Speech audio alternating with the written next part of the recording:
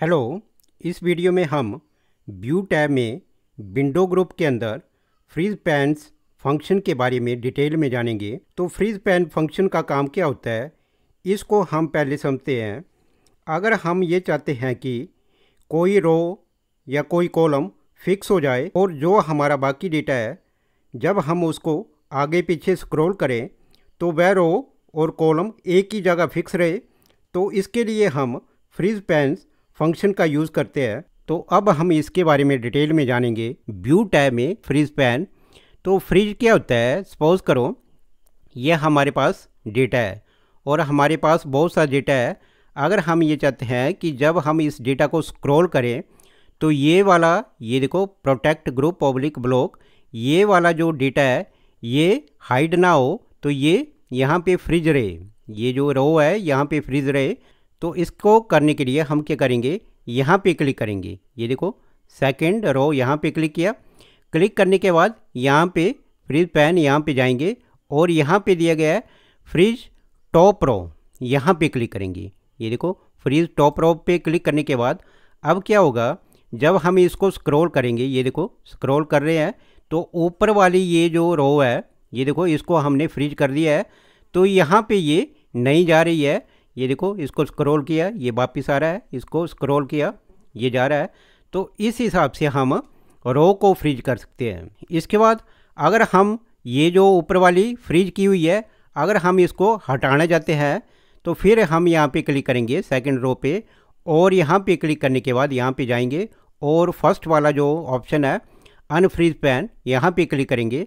यहाँ पे क्लिक करने के बाद ये देखो, यहाँ से ये अनफ्रीज हो जाएगा। ये देखो ये स्क्रॉल कर रहे हैं, ये भी जा रही है फ़र्स्ट वाली रो तो इस हिसाब से हम इसको अनफ्रीज भी कर सकते हैं। इसके बाद अगर हम ये चाहते हैं कि ये जो कॉलम है, ये देखो ए कॉलम जिसमें सीरियल नंबर ये लिखा हुआ है। अगर हम इसको फ्रीज करना चाहते हैं ए कॉलम को तो इसको हम फ्रीज कर सकते हैं। इसके लिए हम यहाँ पे कॉलम पे इसको सेलेक्ट करेंगे। ये सिलेक्ट किया। इसके बाद यहाँ पे हम फ्रीज पैन पे जाएँगे और यहाँ पे लास्ट में दिए गया है फ्रीज फ़र्स्ट कॉलम, यहाँ पे क्लिक करेंगे। यहाँ पे क्लिक करने के बाद ये देखो, ये जो कॉलम है, ये फ्रीज हो गया है। अगर हम ये डेटा आगे ले जाएँगे, जैसे ये देखो, ये आगे ले जाएँगे तो ये फ्रीज है। ये यहाँ पे फ्रीज हो गया है, ये नहीं जाएगा। ये देखो, इसको डेटा को पीछे ला रहे हैं। ये देखो, ये फ़र्स्ट वाला कॉलम जो है, यहाँ पे फ्रीज हो गया है। इसके बाद अगर हम ये जाते हैं, अनफ्रीज करना है तो वैसे ही हम यहाँ पे क्लिक करेंगे। यहाँ पे क्लिक करने के बाद अगर कॉलम को अनफ्रीज करना है तो फिर हम यहाँ पे फ्रीज पैन पे जाएँगे और यहाँ पे फ़र्स्ट वाला ऑप्शन अनफ्रीज पैन यहाँ पे क्लिक करेंगे तो ये अनफ्रीज हो गया है। ये देखो, जैसे ही हम यहाँ पे इसको आगे ले जाएँगे, ये देखो, ये भी जा रहा है। ये यहाँ पे अनफ्रीज हो गया है। वापस लाएँगे, ये देखो, वापिस आ रहा है। इसके बाद अगर हम ये ये तो हो गया फ़र्स्ट रो और फ़र्स्ट कॉलम, इसको फ्रीज करना है।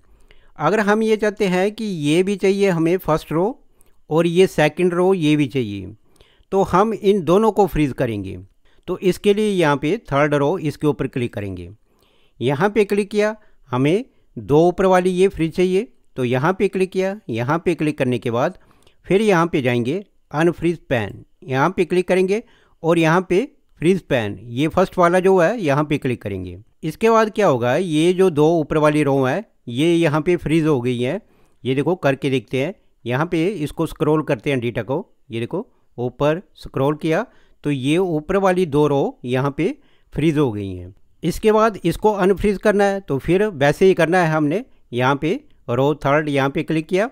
इसके बाद फ्रीज पैन अनफ्रीज पैन। यहाँ पे क्लिक किया, ये देखो, अनफ्रीज हो गई हैं। ये दोनों रो यहाँ पे अनफ्रीज हो गई हैं। अगर हम ये चाहते हैं कि ये जो सीरियल नंबर फोर, ऊपर वाला ये जितना भी है, ये फ्रीज हो जाए तो हम यहाँ पे सीरियल नंबर ये दिया हुआ है, ये फोर पे क्लिक करेंगे। फोर पे क्लिक करने के बाद तो हम क्या करेंगे, यहाँ पे फ्रीज पैन पे जाएँगे। फ्रीज पैन पे क्लिक करने के बाद यहाँ पे ये फ़र्स्ट वाले ऑप्शन के ऊपर क्लिक करेंगे। ये देखो, यहाँ पे क्लिक किया। तो ये देखो, यहाँ पे ये रो फ़र्स्ट वाली, ये सेकंड रो ये थर्ड रो ये फोर रो ये फाइव तो ये जो है, ये फ्रीज हो चुकी हैं, इसके नीचे जो है, ये अनफ्रीज है। ये देखो, इसको जब हम स्क्रॉल करेंगे तो ये ऊपर वाली फ्रीज रहेंगी। ये देखो रो को स्क्रॉल कर रहे हैं तो ये ऊपर नीचे जा रही हैं, लेकिन ये ऊपर वाली जितनी भी रो हैं, ये फ्रीज हो चुकी हैं।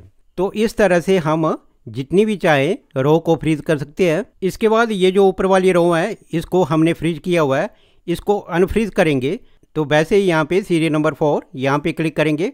इसके बाद फ्रीज पैन यहाँ पे जाएँगे और इसको अनफ्रीज पैन यहाँ पे क्लिक करेंगे। तो ये देखो, ये सारा डेटा यहाँ पे अनफ्रीज हो चुका है। ये देखो, ये डेटा ऊपर नीचे जा रहा है सारा। तो इस तरह से हम इसको अनफ्रीज कर सकते हैं। तो इस वीडियो में हमने फ्रिज पैंस के बारे में डिटेल में जाना। अगर आपको मेरी ये वीडियो अच्छी लगी तो प्लीज़ सब्सक्राइब माई चैनल। धन्यवाद।